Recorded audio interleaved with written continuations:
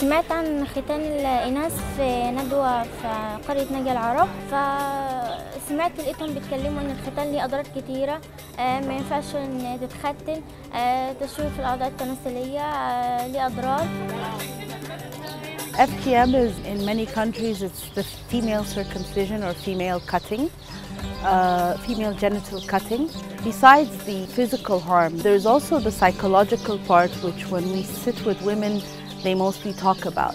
The most common word that we hear from women is that it's the worst day of my life.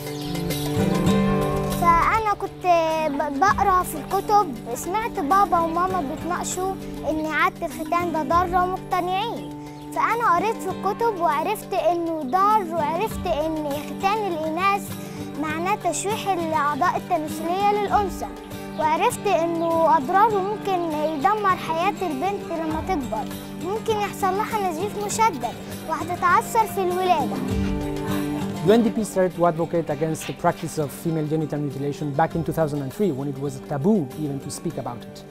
A law was passed criminalizing this practice. The government is adopting FGM abandonment. Ministry of Justice, Ministry of Health, Ministry of Education. This is what makes people like in this village hear about FGM today.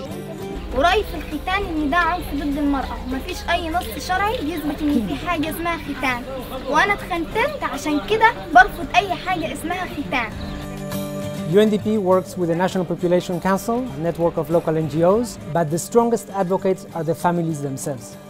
The girls, the daughters, the mothers, the fathers, the neighbors, and the reason is very simple because we are removing pain from their lives. Girls are able to continue school, they grow healthy, and they are happy.